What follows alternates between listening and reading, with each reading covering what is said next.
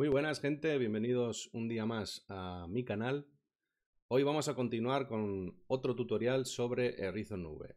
A lo largo de estas semanas han surgido tres preguntas eh, de los suscriptores con dudas a resolver. La primera de ellas y probablemente la más interesante de comentar es eh, referente al apartado de UDIMS, cómo se crean UDIMS en, en Reason que bueno, lo vimos un poquito por eh, pasada, pero sí que tenía pensado desarrollarlo más en profundidad.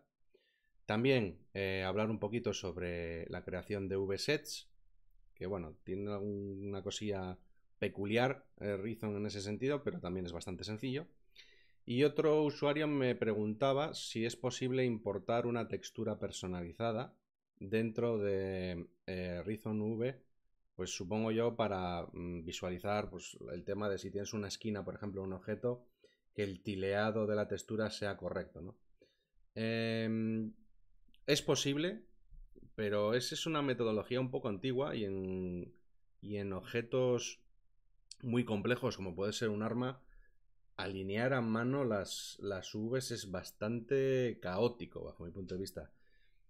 Eh, cualquier programa de texturizado hoy en día eh, te debería de ofrecer herramientas de Vs eh, relativamente automáticas del programa para solventar o saltarte las Vs que tú importas. Hacer un triplanar, como puede ser en Substance Painter, o algo así que te pueda ayudar a hacer que eso funcione correctamente. De todas maneras, tener en cuenta, porque además él me lo comparaba con Blender, porque en Blender pues puede hacer algo así, ¿no? Eh, tener en cuenta que Blender es un programa all-in, ¿vale? Es un programa, un programa genérico en el cual tú puedes texturizar, modelado orgánico, hard surface, renderizado. O sea, es un programa que abarca todo, prácticamente todo el espectro de, las tareas que tienes que hacer en, 3D. Eh, Reason es un programa específico para ahorrarte un montón de tiempo en una tarea concreta. No es una herramienta genérica.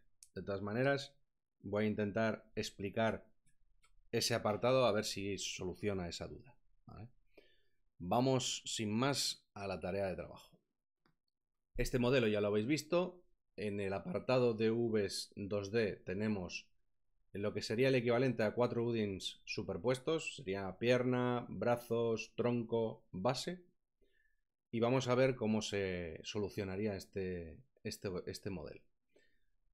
Hay herramientas que voy a empezar a utilizar que ya he explicado en otros tutoriales. Si tenéis dudas o no os queda claro de cómo se usan algunas herramientas, revisar los tutoriales anteriores porque obviamente no voy a estar repitiendo lo mismo en cada tutorial. Se alargarían mucho los vídeos y mi objetivo siempre es mantener los vídeos entre los 15 y los 30 minutos. No me gusta extenderme más porque si no es bastante tedioso. Eh, como hemos visto en un tutorial anterior, con la herramienta de selección de islas, seleccionamos, subimos y tenemos la herramienta que nos permite seleccionar las partes que, son compañeras de objeto de esta isla. ¿no? Pulsando control y pulsamos este botón, como veis selecciona lo que sería el objeto completo. Seguimos pulsando control y vamos seleccionando la pierna completa porque nos interesa que esa pierna esté en un UDIM, ¿vale?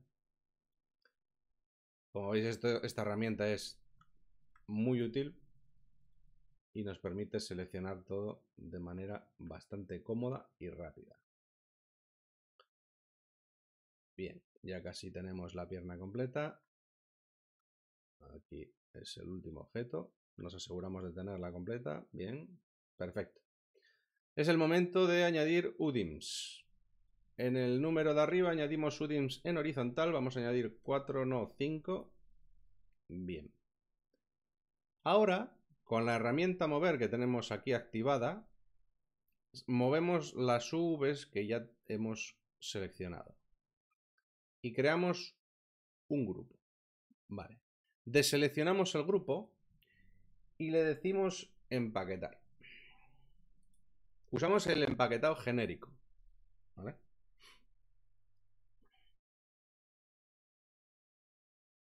Como veis, solo ha ocupado dos UDINs. Bien, esto tiene una explicación. En la herramienta o el menú de UDIMS tenemos un botón que se llama Distribute. Distribute yo ahora mismo lo tengo desactivado, pero creo que por eh, definición viene activado. Si lo activamos y volvemos a pulsar empaquetado, el programa va a tener en cuenta todos los espacios de UDINs que hemos creado y va a dividir las UVs entre todos los espacios de, de UDIMs que hemos creado. Esto es muy interesante y muy práctico y muy rápido.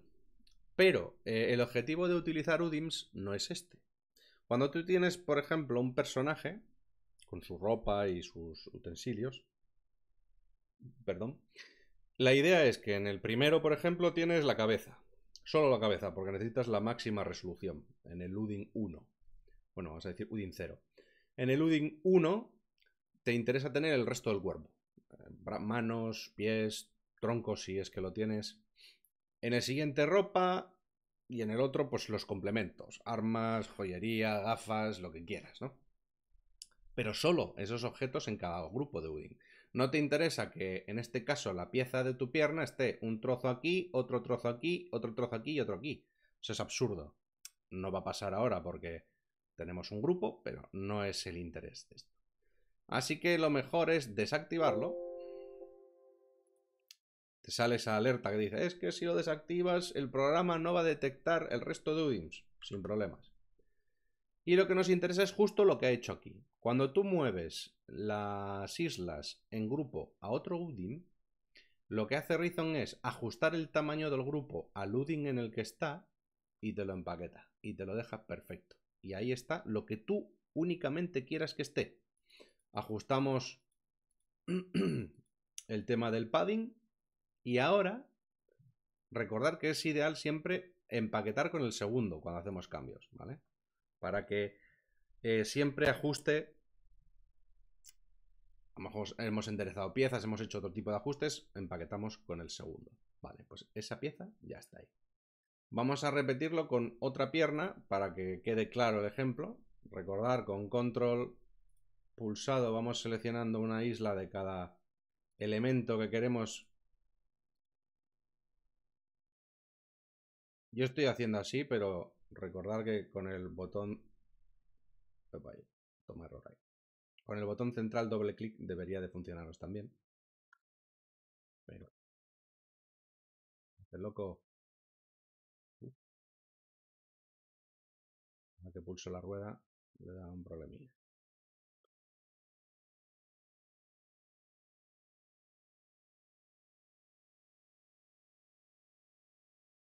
Esta nueva pierna la tenemos seleccionado una vez más otro grupo.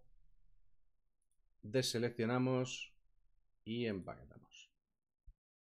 Una cosa interesante también es que cuando vamos haciendo grupos recordar que os cambia el color así distingues. Si ves los, los filamentos las caras tienen un azul celeste en este caso un violeta ¿vale? es muy útil.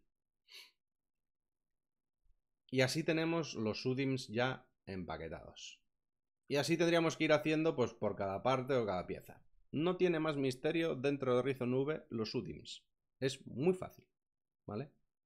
No que en vez de quererlo en horizontal lo quieres en vertical, pues ya sabes, añades islas en el otro sentido. No, no es nada complejo. Lo único que tienes que entender es el sistema de grupos que hemos explicado previamente en un tutorial y pues saber seleccionar, una vez que ya has hecho todos los cortes, saber seleccionar las islas y demás para no tardar mucho tiempo, pero es la manera más óptima de trabajar. En cuestión de VSets, bien, pues lo que vas a hacer es crear un VSet porque quieres hacer un line map. Lo creas, te vas a ese grupo y seleccionas el grupo anterior y dices copiar. Y ahora ya tienes en el canal de Light las Vs del otro y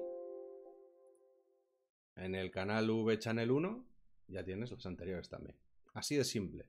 No tiene mayor misterio.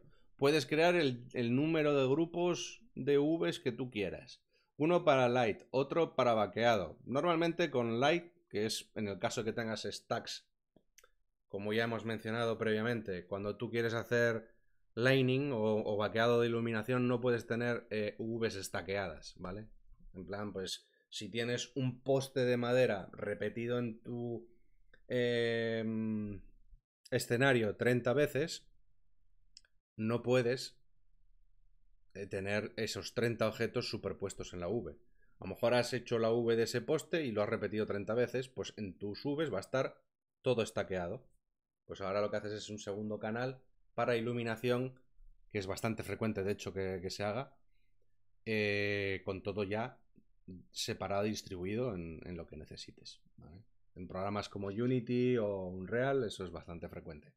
De hecho, en Unity pues tienes opciones para decirle al programa que cree UVs automáticas de iluminación o que utilice las que tú traigas, el segundo canal, por ejemplo. Y en, Unreal pues muy probablemente parecido. Hace un tiempo que no lo uso, pero me suena que, que se podía hacer así también. Con esto eh, hemos aclarado las dos primeras dudas, ¿vale? Ahora sería la siguiente duda, mm, la última, la de si puedo importar una textura eh, que, personalizada para ver un tileado, ¿vale? Hemos descargado una textura de texture.com, la página de donde se pueden descargar un montón de texturas tileables. Eh, aquí en File podemos cargar esa textura de manera personalizada. Aquí la tenemos. Las selecciones. Y luego recordar que tenemos la manera de aplicar el checker para poder ver el checker clásico, clasiquísimo de em, cuadros grises, oscuro y claro, que esto ya hemos hablado de ello, y que aquí ya podrías hacer de manera manual los ajustes que quería el, el usuario de hacer pues que eh, los cuadros coincidan, ¿no? Eso ya a tu gusto. Tenemos el de colores y numeritos. Y luego pues puedes aplicar el personalizado, que es, como vemos aquí, el de los bricks de, textura. Puedes desactivar el grid y pues aquí verías cómo queda eh, la textura personalizada. Como digo, bajo mi punto de vista es un método bastante obsoleto. Vamos a ver un ejemplo de... Cargamos unas Vs de un cubo.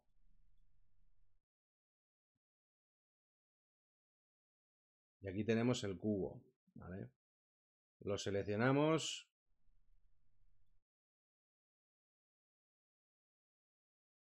Un un empaquetado. Y como vemos, pues coincide bastante bien, ¿no? Vale. Ahora lo que vamos a hacer es seleccionar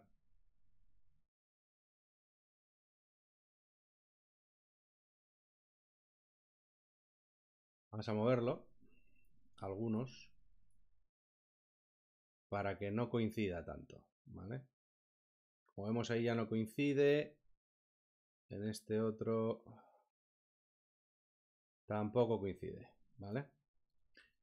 Con esto eh, guardamos. Mm, ahí está. Nos vamos a Substance Painter. Eh, nuevo.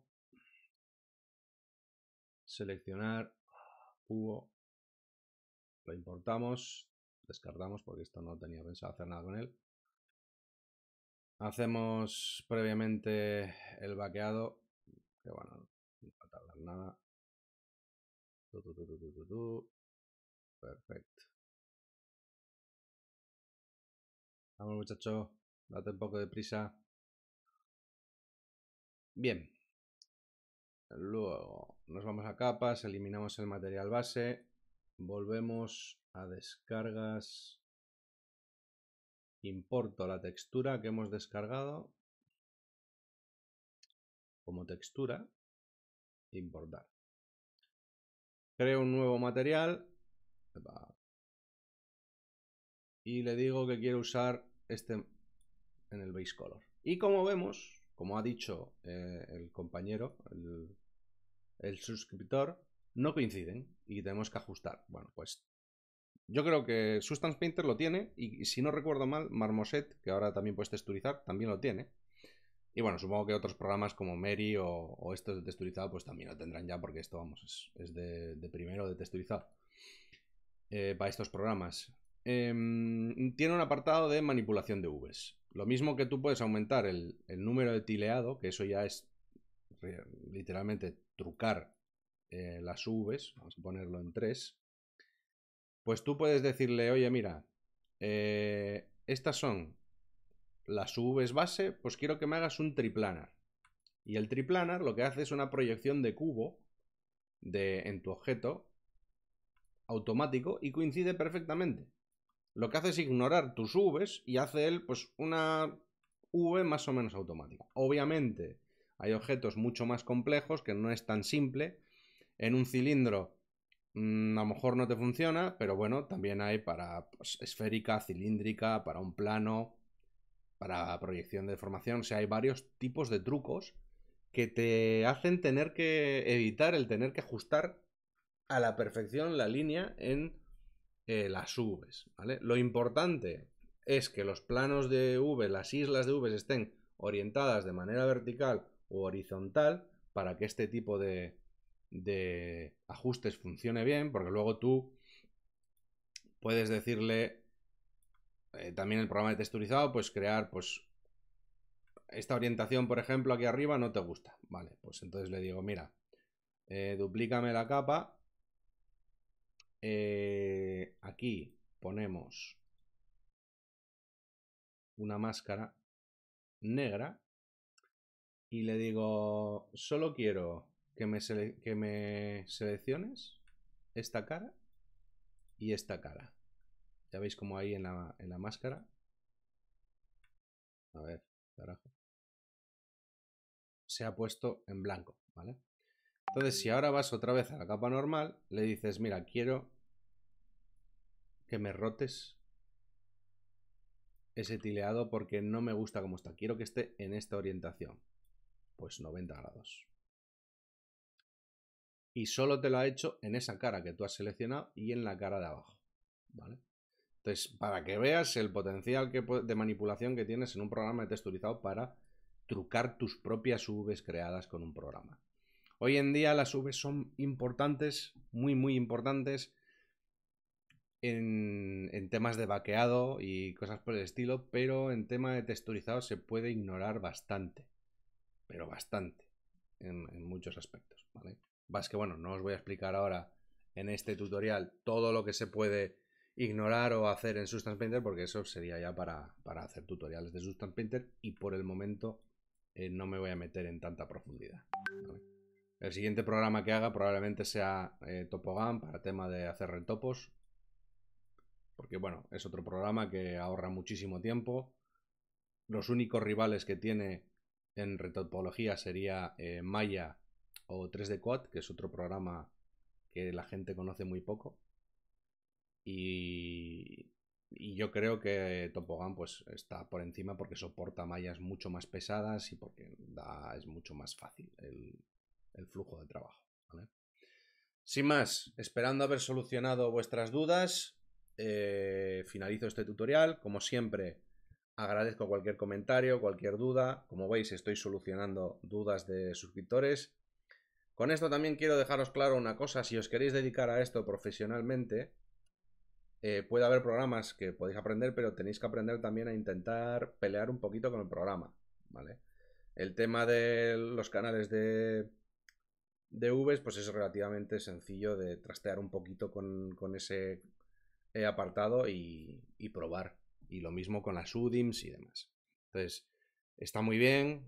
Yo creo tutoriales con sumo placer para todos vosotros, pero eh, no siempre vais a tener la respuesta en un tutorial de YouTube. A mí me ha pasado profesionalmente en bastante, ya que he trabajado, por ejemplo, en realidad virtual y realidad virtual mm, no hay prácticamente tutoriales en, YouTube y pues tienes que pegarte tú con los programas y solucionar tú los problemas. Y es algo muy bueno y muy sano para un artista ser capaz de solucionar ese, tipo de problemas porque eh, en un estudio se te valora eh, por solucionar problemas, no por dar trabajo haciendo preguntas. Sé que suena un poco mal, pero es la realidad. en un estudio lo que buscan es que seas capaz de buscarte un poquito eh, las papeletas o solucionar los problemas tú solo. Si hay algo que ya es muy importante y que te lleva pues ya uno o dos días solucionarlo, pues obviamente pues pregunta a alguien que sepa más que tú porque estáis perdiendo tiempo. Pero acostumbraros a pegaros un poquito con el programa, de practicar las herramientas y con ello pues os va a ayudar a crecer mucho como profesionales. No os doy más la chapa, muchas gracias. Si os ha gustado el contenido, suscribiros. Nos vemos.